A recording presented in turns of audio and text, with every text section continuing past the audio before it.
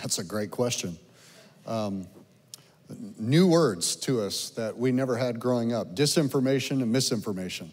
I just grew up with lies, uh, truth and a lie. Uh, but now we've got all kinds of nuanced approaches to it. And um, we need to recognize that we live in a social media world where we have a million different voices coming at us. Everything has an agenda, it just does. I think it's one of the reasons why a lot of younger generations are just uh, jaded and a little cynical uh, about things because they've been inundated. It's why they're anxious because we're constantly put on the spot and assaulted with ideas, and uh, we don't know how to process it. We know that it's going to lead to conflict or division. And that's the world that we live in, for better or for worse.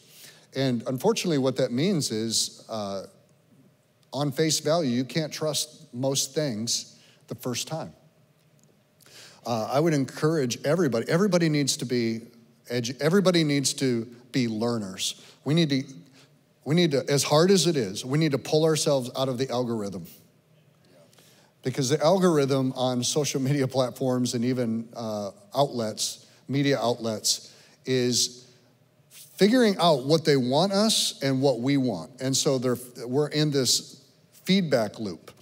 And uh, another word for misinformation and disinformation is propaganda. I mean, that's what, that's what it boils down to. And propaganda is as old as, as human beings are. We put a slant, we tell it with a slant. Everything's got a little slant.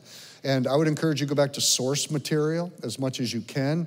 Read broadly. Um, it's no mistake. It's it's no secret. I'm conservative. I just my political leanings and even my uh, be, my belief systems is I'm conservative, but uh, when I read the news, like I'll watch the news, but I read the New York Times, uh, I read uh, Axios, and things that lean left. And the reason why I do that is, is I want to counterbalance. I want to read the opposing argument to things, and, and I want to see what maybe I'm missing something. And I would encourage you to uh, be careful, be broad, but also if you really want to be a student, you got to get to the root sources of things. You got to study below the surface, really figure out um, what things are important, what things are valuable to you, and constantly be seeing through the filter of, okay, what's the angle? Why are they, why is this being communicated? What's the angle? What's the agenda? And the thing that I would encourage you, because you can spend 20 hours a day trying to get a grip on what's reality, uh, but and I know this sounds cliche, but I, I, I, have to say it anyways. We have to have this as the foundation of our life. This is truth. This, there's no misinformation. We need this.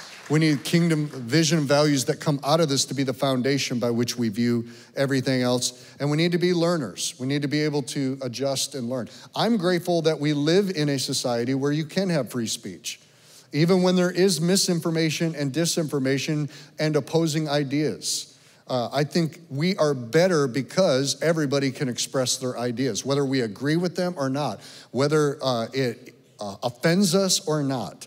I'm not for shutting down dissent and shutting down arguments or shutting down differing opinions. I think we ought to have more of it.